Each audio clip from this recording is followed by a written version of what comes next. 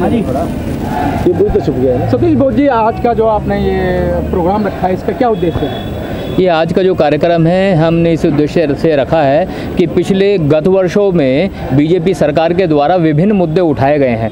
परंतु जो मुद्दा जरा बहुत महत्वपूर्ण है, ईवीएम का मुद्दा, वो उठाया नहीं किसी ने और उस मुद्दे को बार बार दबाने का प्रयास किया जा रहा है। तो हम लोगों ने यू, लोकतंत्र बचाओ जन आंदोलन के माध्यम से इस मुद्दे को फिर से उठाने का प्रयास किया है, ताकि हम लोग ईवीएम को बैन करवा करके वापस बैलेट पेपर पे चुनाव करवाएँ, जिससे लोकतंत्र स्वस्थ बनेगा और भारत में एक स्वच्छ छवि की सरकार बन पाएगी। इसलिए हम लोग ईवीएम को बैन कराना चाहते हैं।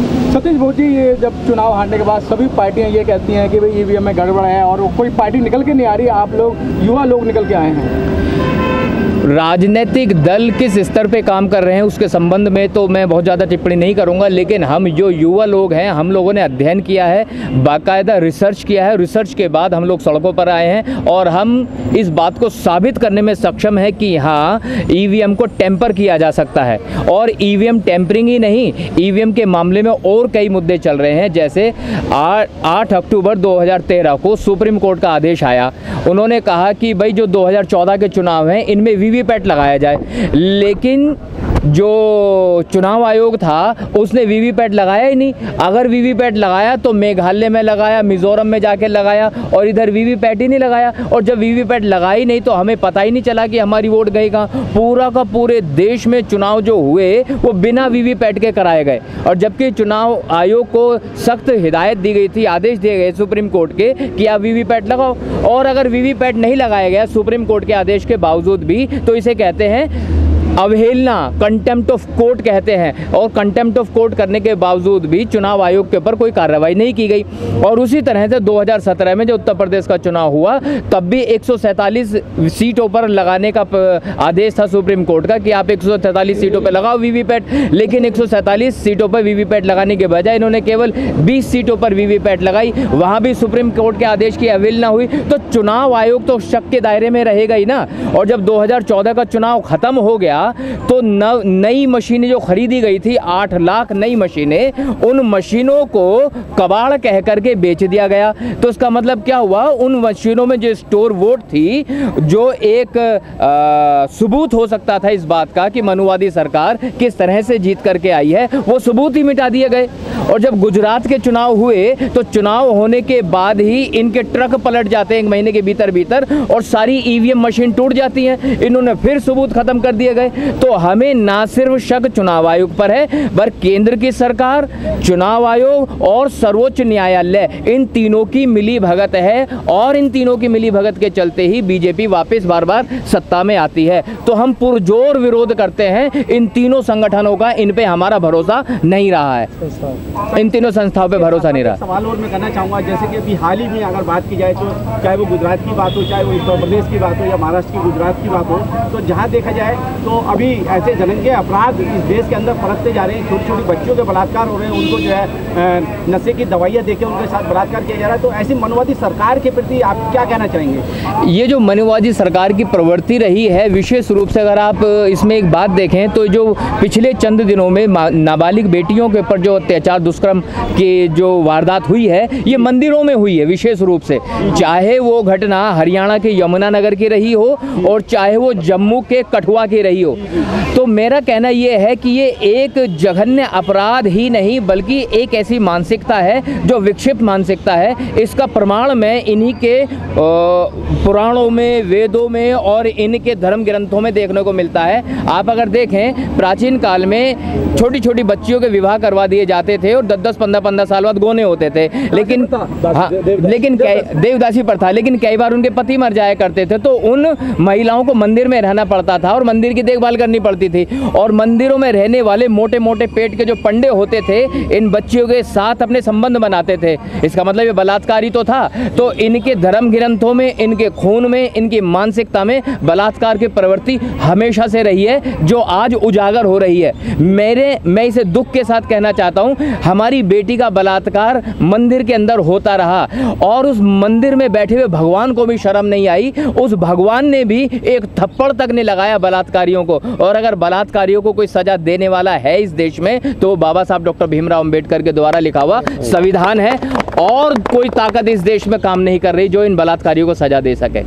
सतीश बोस जी अभी नरेंद्र मोदी जी ने कहा था कि बेटी बचाओ बेटी पढ़ाओ को नारा दिया था और दो करोड़ नौकरियाँ प्रत्येक साल देने का वायदा किया था। क्या जो मोदी जी ने वायदे किए थे उनमें से कितने वायदे पूरे हो चुके मोदी जी ने तो इस बार चमत्कार कर दिया। दो करोड़ नौकरियाँ देने की बात कहने वाला आदमी उसने पैंतालीस हज़ार सरकारी स्कूलों को प्राइवेट कर दिया।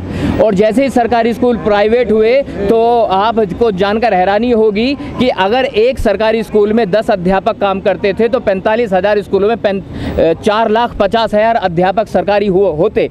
लेकिन जैसे ही ये लाला के नौकर बन गए, तैसे ही साढ़े चार लाख नौकरियाँ समाप्त हो गई और भविष्य में हमारे लोगों को ये नौकरियाँ मिलेंगी भी नहीं। 479 रेलवे स्टेशन जो है प्राइवेट कर दिए गए और उन पे जो काम करने वाले सरकारी नौकर थे, रातों रात लाला के नौकर बन गए और इन रेलवे स्टेशन पर भविष्य में नौकरियाँ मिलेंगी भी नहीं। तो जिस तरह से मोदी सरकार सरकारी संस्थानों का प्राइवेटाइजेशन निजीकरण करती जा रही है। उसके चलते हुए हमारे समाज ही नहीं, सर्व समाज के लोगों में नौकरियाँ मिलनी ही दुर्भर हो जाएँगी।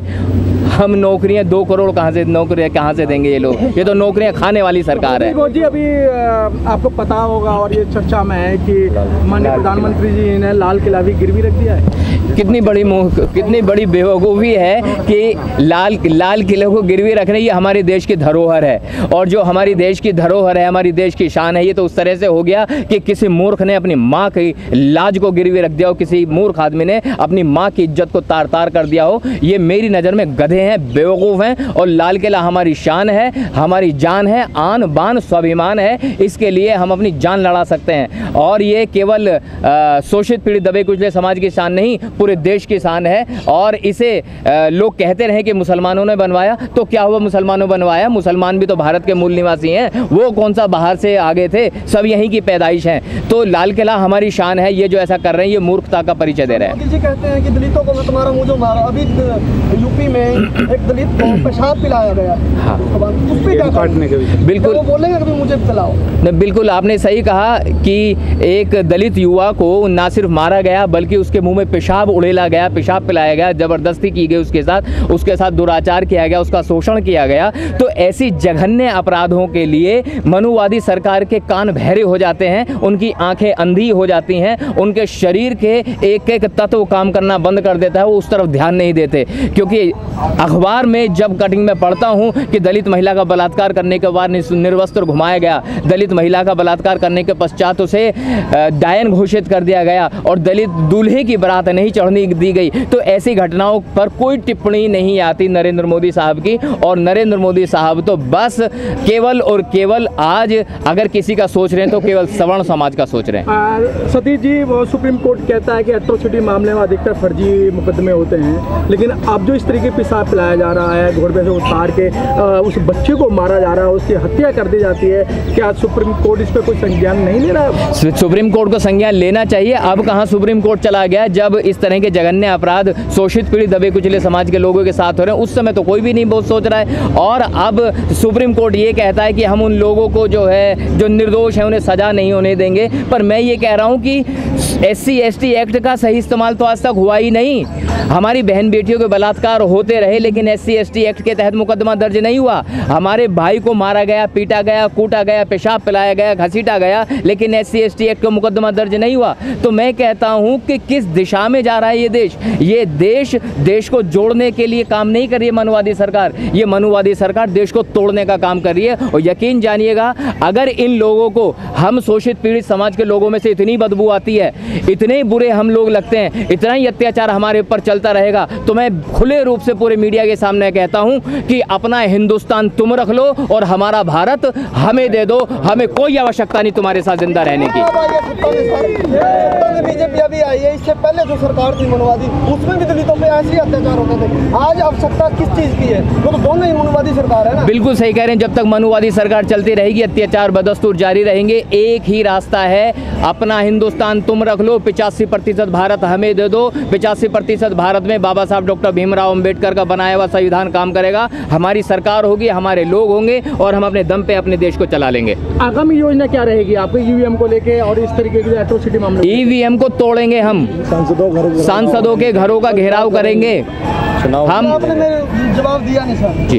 आज आवश्यकता अपनी पार्टी की है या नहीं? बहुजन समाज की पार्टी की है या नहीं? मैं ये बिल्कुल है। इसके बारे में आप बिल्कुल सही कह रहे हैं परंतु मैं किसी भी राजनीतिक पार्टी का नाम लेकर उसके पक्ष में बात इसलिए नहीं करूँगा क्योंकि ये सामाजिक मंच है और इस सामाजिक मंच पर हम समाज के लोग इकट्ठे हुए हैं। है या नहीं अपनी? बिल्कुल निश्चित रूप से आवश्यकता है और बहुजन समाज में कई पार्टी आ चुकी हैं कई सारी पार्टी हैं कोई एक पार्टी नहीं है। तो मैं बहुजन समाज के लोगों से हाथ जोड़ के निवेदन करूँगा कि जो नेता ईमानदार हो, जो नेता कामगार हो, उस नेता का साथ दें, उस पार्टी का साथ दें। और ईमानदारी से काम करने वाले नेताओं का साथ दें, उन नेताओं का साथ बिल्कुल भी ना दें जो घरों में बैठ के नोट गिन रहे हैं, जो टिकट बेच करके अपने घरों में पैसे ले जाते हैं। ऐसे नेताओं का साथ ना दें। ऐसे नेताओं का साथ ज़रूर दें जो दलितों के लिए, शोषित पीड़ित, वंचित समाज के लोगों के लिए अपना खून तक न्यौछावर करने के लिए तैयार हैं। ऐसी पार्टी का साथ ज़रूर दें। बहुत बहुत धन्यवाद।